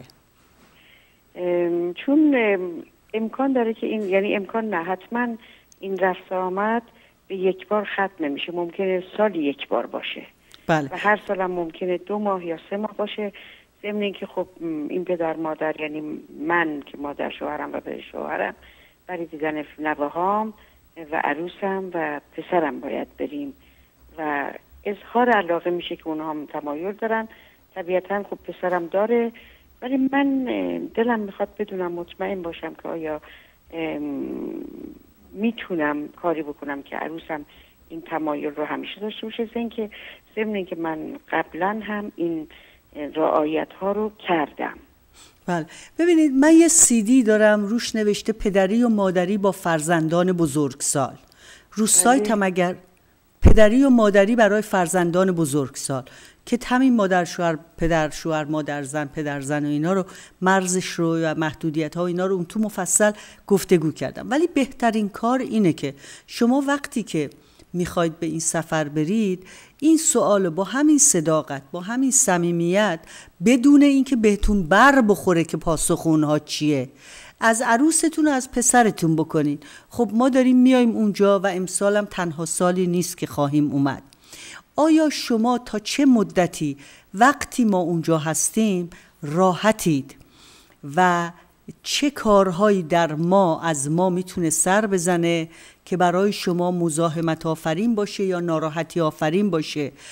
دوست دارم قبل از اینکه با شما وارد هیچ گرفتاری بشیم همه چیز رو از قبل با هم گفتگو کنیم و بیشتر این رو از عروستون سوال کنید. به دلیل اینکه اولا شما مادر و پدر شوهر هستید. بله. در ثانی در ثانی اینکه خانه معمولا آرامش یا برهم خوردن آرامشش اولین اثر رو روی زن می‌گذاره. و این سوال رو باید از اونها کرد. فرمول مشخص و مشترک نداره. من می‌دونم اکثر مادر شوهرها وقتی می‌خوان بیان آمریکا و دو سه ماه بمونن ترجیح میدن یه دونه آپارتمان یه اتاق خوابه اجاره کنن نزدیک بچه هاشون و اونجا برن. و روزها با بچه هاشون باشن شبها تو محل خودشون. گاهی هم تو محل خودشون غذایی بپزن و عروس و پسر و نوه ها رو دعوت کنن. اما پدر شوهرها نمی‌دونم چرا اصرار دارن برن پیش پسر و عروس بمونن. اینم یه چیزیه که من تجربه کردم. دقیقا این تمایل رو من دارم. بله دقیق من علت این که گفتم چون از بس شنیدم. و پدر شوهرها میگن که نه خونه پسرمه مثلا به عروسم چه مربوطه می‌خوام خونه پسرم باشم.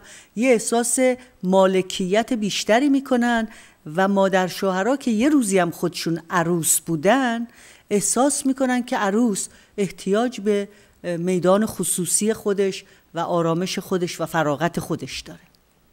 بله خانم دکتر. اوکی؟ من بله بله خیلی ممنون. استفاده می‌کنم. کردم. مرسی.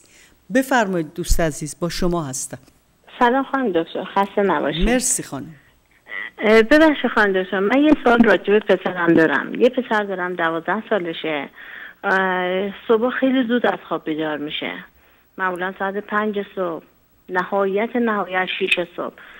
خب از این قضیه خیلی ناراحته. هفته گذشته برنامه شما رو می‌دید. میگو مامان تو رو خدا زنگ بزن خانم دکتر بپرس چرا من زود بیدار میشم. چه ساعتی میخوابه؟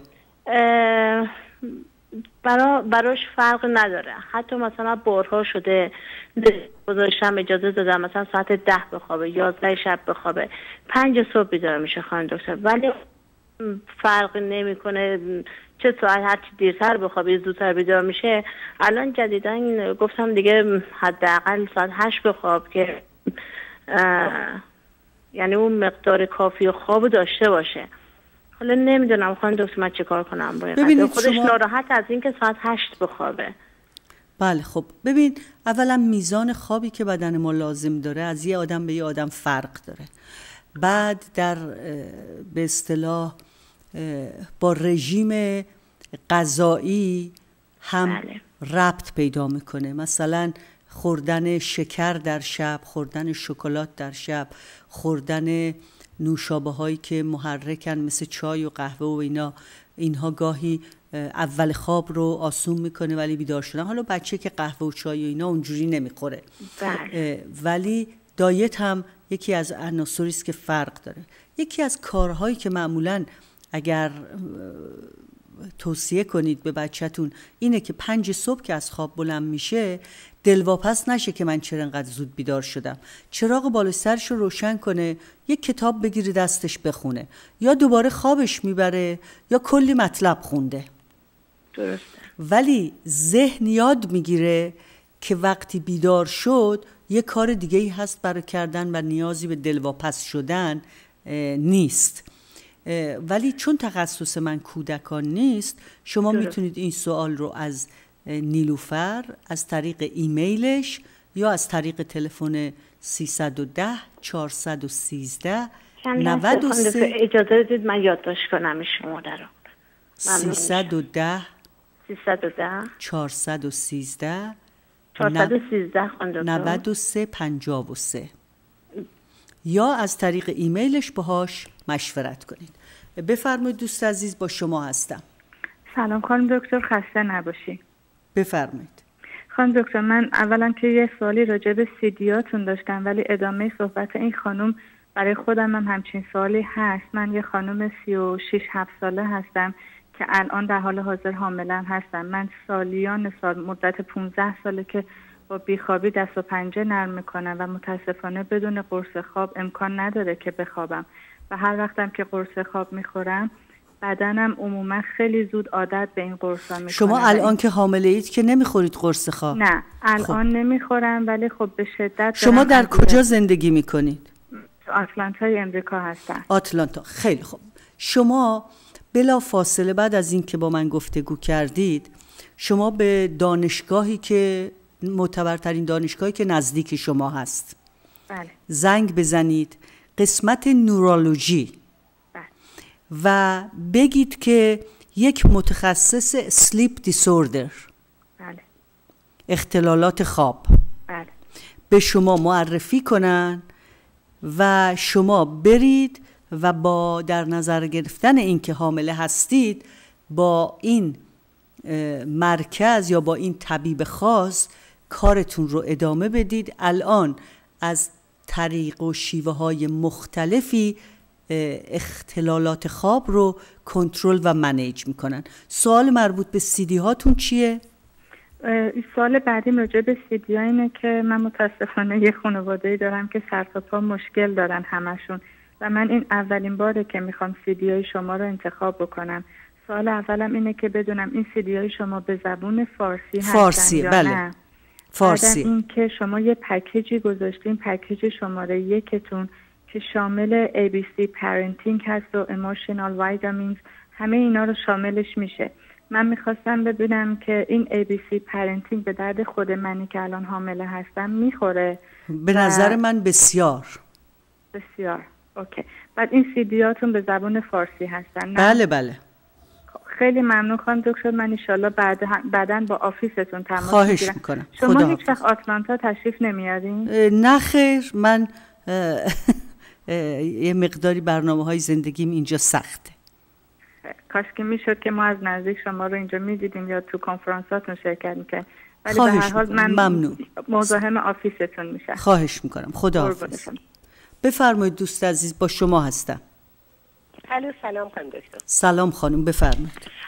من سوالی داشتم خانم دکتر. من یه خانم 42 ساله هستم. هیچ ظاهرا خودم احساس می‌کنم هیچ علامت دیپرشنی ندارم. ولی همونطور که با خانم قبلی صحبت می‌کردین منم توی تصمیم گیری خانم دکتر یه خورده مشکل دارم. یعنی یه کاری رو اول خیلی با اشتیاق دوست دارم برم سراغش میرم ثبت نام که می‌کنم بعد بعدا وسط کار پشیمون میشم. یعنی پشیمونم نمیشم. یعنی فکر می‌کنم حالا من می‌تونم این کار رو انجام بدم. آیا شما. کمالگرایید؟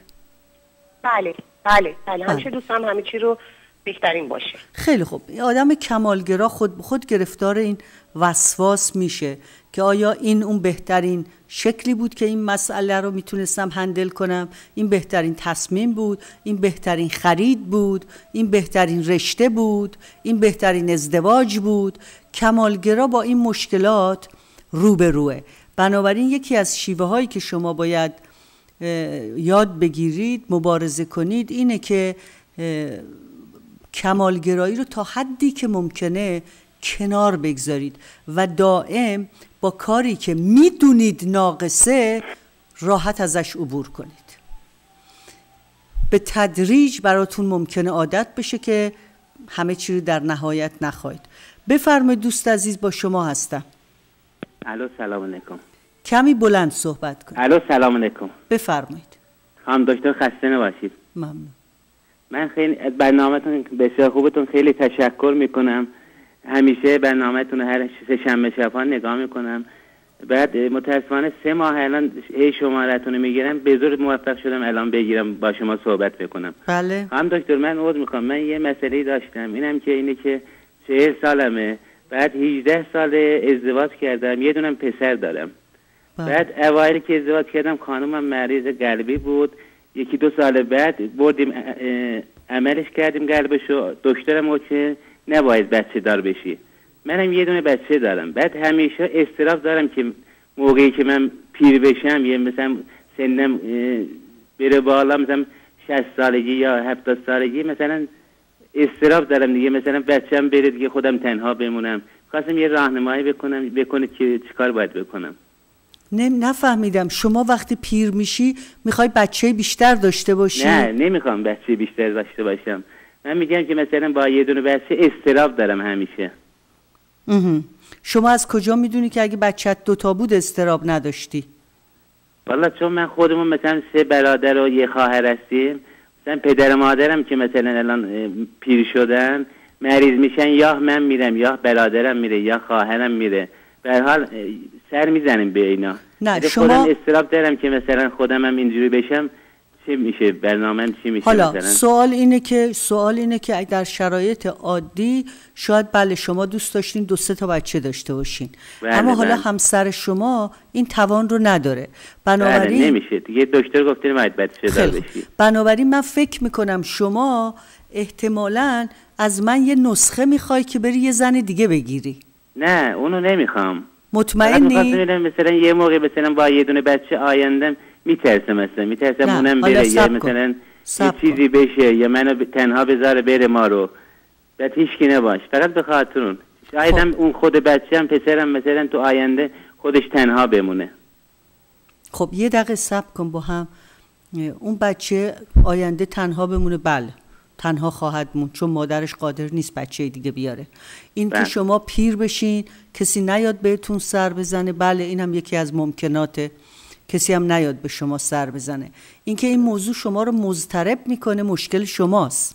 به بله. دلیل اینکه شما باید ببینید چرا تنهایی برای شما اضطراب آوره چرا تنهایی برات اضطراب آوره یا آیا این اضطراب رو داری؟ اضطراب دنبال بهانه میگرده و این بهانه تک فرزندیه ولی من فکر می‌کنم هنوز تکرار می‌کنم فکر می‌کنم شما سوال رو به شکلی مطرح می‌کنی که من بگم خب موافقت همسرت رو بگیر یه زن دیگه ای بگیر و دو سه تا بچه بیار استرابت خوب میشه. اصلا بحث اونا نیست. چون مادر خانمم که پد کرد مریض بود بعد اینا سر می‌رفتن سر می‌زدن. من به خاطر اون می‌بینم که مثلا آینده ما اونجور بشیم چه اتفاقی می‌خواد بیفته اصلا هیچ. اصلا شما عاقبتت پیر میشی هیچ کس هم نمیاد به شما سر بزنه درسته این مسئله چرا امروز شما رو داره نابود می‌کنه نمی‌دونم والا جدیدن اینجوری. شدم من فکر می‌کنم جدیدن اگه اینطور شدی من فکر می‌کنم شما اضطراب داری و اضطرابت رو برو درمان کن واقعیت اینه که ما انسان ها با هزاران نفر اطرافمون از یک سو تنهایی و در نهایت تنهایی با همه هستی پیوند داریم. به صورت کمتریم از نیم ذره. بله. ز روی عشق از عالم فزونیم. شما باید اون ارتباطات وسیع با خانواده انسانی رو پیدا کنی و الا یه بچه داشته باشی دو بچه داشته باشی شش تا بچه داشته باشی امکان اینکه تنها بمونی هست. و این درسته موضوع. این اضطراب تنهایی شما ریشه دیگه ای داره. با دکتر صحبت کن. ببین آیا این اضطرابت رو می‌تونه درمان کنه و بیخود به خاطرش اذیت نشو. بفرمایید دوست عزیز با شما هستم. سلام عرض می‌کنم خانم دکتر. سلام من خانم. در مورد فرزندان تینیجرمون در این محیط غرب از حضورتون سوال داشتم. می‌خواستم بدونم که وقتی بچه ها دوست دارن که شکل و شمایل محیط رو به خودشون بگیرن و قیافه هاشون یه جوری درست کنن که با فرهنگ و کالچر ایرانی مقدار متفاوته آیا ما والدین باید مقاومتی نشون بدیم؟ یا اینکه این یه چیز گذراست و باید همراهشون باشیم. خیلی خوب. اولا یه سیدی من و نیلوفر راجب شما و نوجوانان. درست کردیم که تو اون نیلوفر به خصوص که تخصصش نوجوانان بوده خیلی راجب این مسائل توضیح داده. اون که اگه پاسخ طولانی می‌خواید مثل که دو ساعته یه همچی چیزی اون سیدی رو خانم دکتر از طریق سایتتون می‌تونیم سفارش بدیم؟ بله بله اصلا از طریق سایت همین سایت که اینجا نوشته www.drfarnudi.com رو همین سایت می‌تونین بگیرین. ولی نکته ای رو که اینجا باید خدمتتون بگم ببینید نوجوان بزرگترین فکرش و ذکرش و هدفش در زندگی اینه که شبیه گروه همقطاران خودش باشه هم سن و سالان خودش او رو بپذیرن چرا؟ چون سوشال سلف یا خیشتن اجتماعی در دوران بلوغ داره شکل می‌گیره خیشتن عاطفی تا قبل از دوران بلوغ شکل گرفت خیشتن اجتماعی داره در دوران بلوغ شکل می‌گیره. بنابراین برای بچه ها مهم اینه که رفیقاشون چقدر اونا رو بپسندن یا برای اونا چقدر کول باشن. حالا ما بچه هامون آوردیم توی محیطی که همرنگی با جماعت رول نوجوانانه. حالا این جماعتی که اونا توش قرار می‌گیرن اگر در یه محله اسپانیش نشین باشیم شبیه بچه های اسپانیشه. اگه توی محله سفید پوست باشیم که خانواده ها کانسرواتیون یه مدل دیگه میشه. اگر تو خانواده های سفید پوست هیپی آب باشیم این یه مدل دیگه ای میشه. به هر حال ما سهم داریم در جایی که اونها رو فرود آوردیم و در جایی که اونها رو پیاده کردیم. ولی اون چه که مسلم خانواده معیارها و نرمهای خودش رو ول نمی‌کنه ولی به خاطرش با بچه ها جنگ نمی‌کنه. یعنی چی؟ یعنی بچه خودشو می‌خواد اشکال مختلف در بیاره و مادر و پدر در عین حال اینکه میگن که فرض کن این لباسی که تو پوشیدی مورد تایید ما نیست ولی میگن البته تو وقتی در کنار دوستان خودت هستی این آزادی رو داری. ولی وقتی تو فامیل داری میای ما اپریشیت می‌کنیم اگر رعایت کالچر ایران رو بکنیم. و مهمتر از همه اینه که ما چقدر کالچر ایرانی رو برای بچه هامون مطلوب و مطبوع کردیم. وقتی که ما از culture ایرانی جنبه های خوبش رو برای بچه ها practice می‌کنیم تو زندگی. اونا یه عقیده راجع به culture ایرانی دارن. وقتی از ریا و pretension و تظاهر و نمی‌دونم وانمودسازی و دروغ و پوز و این چیزا برای بچه هامون فرهنگ رو portrait می‌کنیم اونها یه نگاه دیگه نسبت به اون فرهنگ دارن. من بارها از نوجوانان تو مطب خودم شنیدم Persian culture is a fake culture. واقعی نیست. What is it? People they just pretend they pose to each other. و پوزم به فارسی میگن. میگه I hate my mom. She's always posing to her friend. از مادرم متنفرم چون همش داره واسه دوستاش جست می‌گیره پوز میاد. به هر حال این اون قسمتی بود که من می‌تونستم به شما پاسخ بدم. بفرمایید دوست عزیز با شما. الو؟ باز من الان اعلام می‌کنم دوستان عزیز همه خطوط ما پره نمی‌رسیم ما تو این هفتش دقیقه ها بنابراین دو تا بیشتر خط من نمی‌گیرم. بفرمایید. الو خانم دکتر؟ بفرمایید. سلام. من یه سوالی دارم در مورد پسرم. پسرم دانشجو مستر دیگری الان. ولی این از زمان بچگی یعنی از زمانی که متولد شد انگشت میخورده. و هنوز این انگشت خوردنش رو داره ادامه میده با توجه می که تازگی ها گوش چپش رو هم مدت با همزمان با انگشت خوردن بازی می‌کنه. طوری که گوش چپش کاملا از قیافه عادیش خارج شده. من نمی‌دونم بارها باش چیزی خواستم رابطه برقرار کنم که بختی بگیرم که با این دکتر شما ببخشید خانم. صداتون اول مقطع شد و بعد قطع. من تا اینجا شنیدم که شما پسرتون از بچگی انگشت می‌خورد هنوز هم این رو ادامه میده و یه چیز دیگه ای رو هم گفتید که من نشنیدم چون صداتون قطع و وصل می‌شد. این نشانه بیشتر نشانه اضطرابه. من اگر جای شما باشم از اون می‌خوام حتما با یه روانشناس ملاقات کنه چون اون چه که مسلمه این کار به او آرامش میده. آرامش در چه وضعیتی به او میده که اگر این کار رو نمی‌کنه اون آرامش رو نداره. چرا اون آرامش رو نداره؟ به دلیل شاید اضطراب باشه. و این رو حتما یه روانشناس می‌تونه شناسایی کنه. ترک عادات و به اصطلاح تیک های عصبی از طریق شناخت درمانی بسیار موفقیت آمیزه و صورت می‌گیره. بفرمایید دوست عزیز با شما هستم. الو سلام علیکم هم دکتر. بفرمایید. حال شما خوبه؟ خسته نباشید.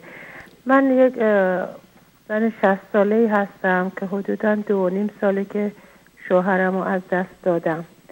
و ایشون شوهری بود که کاملا همراه و همپا و همگام من تو زندگی بود.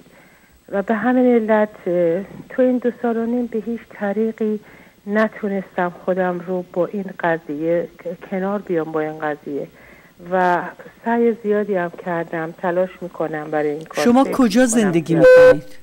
من در ایران هستم. بله اجازه بدید که من اینو خدمتتون بگم که در ایران باز دوباره اگر مبنای درد سر نشم انجمن روانشناسان یعنی نظام روانشناسی در همون دانشگاه بهزیستی چندین support group داره برای grief و bereavement یعنی کمک به افراد در سوگواری و گذر از دوره عزاداری. شما نباید صبر کنید که زمان طولانی تر بشه. شما باید دوباره بتونید از طریق کار کردن با یک روانشناس به زندگی برگردید و با یاد او با تجربیات او با آنچه که از او در ذهن خودتون دارید به صلح برسید و زندگی رو بتونید ادامه بدید. این گروپ سیستم ها بسیار کمک می‌کنن بفرمایید دوست عزیز با شما هستم. از ادب دارم خدمتون خانم دکتر. بفرمایید. اینکه وقتی هم نیست من مجبورم که تون تون عرایزمو خدمتون عرض بله کنم. ما فقط یک دقیقه وقت داریم. بفرمایید. با این حال من یک دقیقه وقت دارم؟ بفرمایید. ما فقط یک دقیقه وقت داریم. پس بسیار خوب. من تا اونجایی که بتونم تون تون حرف می‌زنم و هر وقتی که وقت من تموم شد اجازه بدید که برم دنبال کارم. از کنم حضورتون که من انسانی هستم. بسیار درونگرا و بازنشسته. سرکوفت ها رنج ها ملالمت هایی که در دوران زندگی کشیدم و منو خانه نشین کرده. چند بارم به شما زنگ زدم. خواستم که اصل مطلب رو بگم. یا متاسفانه وقت نشد یا شارژ تلفنم تموم شد. ولی در هر صورت چون وقت نیست من خدمت شما عرض می‌کنم. به غیر از خانواده کوچکم و دیگه هیچ کسی دوست ندارم با هیچ کسی ارتباطی ندارم. نمی‌خوام از خونه برم بیرون نمی‌خوام کسی بیاد داخل خونم. و از یه حالات بسیار بسیار بدی که همه از دست من در عذابن و ام، خود من نمی‌دونم چیکار کنم. در هر صورت چون وقت نیست من از خدمت شما خداحافظی می‌کنم و قطع می‌کنم و دنباله فرمایش شما رو می‌گیرم. خیلی متشکرم. بله. خداحافظ. ببینید قربون شما اونجوری که برای من توصیف کردید یه حالت مردم گریزی دارید که احتمال داره ناشی از افسردگی است که همراه با خودش نوعی بدبینی از دیگران رو هم به همراه میاره. من اگر هفته آینده در ابتدای برنامه این سوال رو مطرح کنید حتما با شما گفتگو خواهم. داشت. دوستان عزیز به پایان برنامه رسیدیم. بچ... کلاس دانشگاه یوسی ارواین که فردا شب آخرین جلسش هست.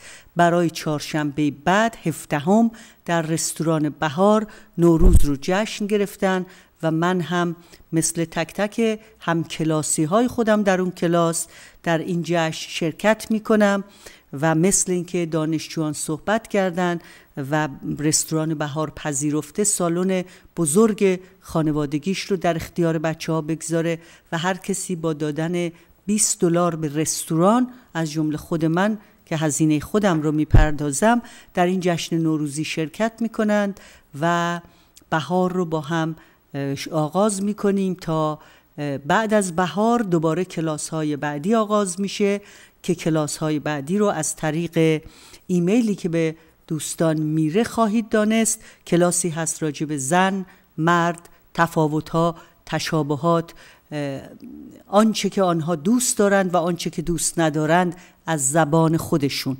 کلاسی هست interactive و همه توش مشارکت می‌کنند و به متد جدید این کلاس رو اداره می‌کنیم. روز و روزگار به شما عزیزان خوش با خرید سیدی های ما و مشترک شدن در وبسایت ما بودجه های آموزشی ما رو حمایت کنید. تا هفته دیگر خدا نگهدار.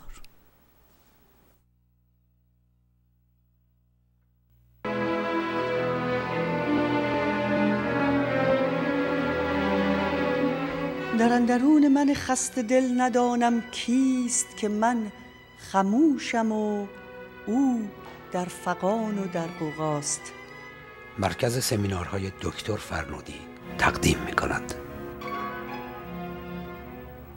الفبای پدری و مادری اصول زناشویی و گزینش همسر تیپ های شخصیتی اعتماد به نفس و حرمت ذات از خودشیفتگی تا عشق و صمیمیت. رهایی از افسردگی و استراب شما و نوجوانان. هفت شهر عشق. برای تهیه با کردیت کارت به وبسایت www.drfarnodi.com و یا با تلفن های 310 701 44 11 و 310 967 81 80 تماس بگیرید.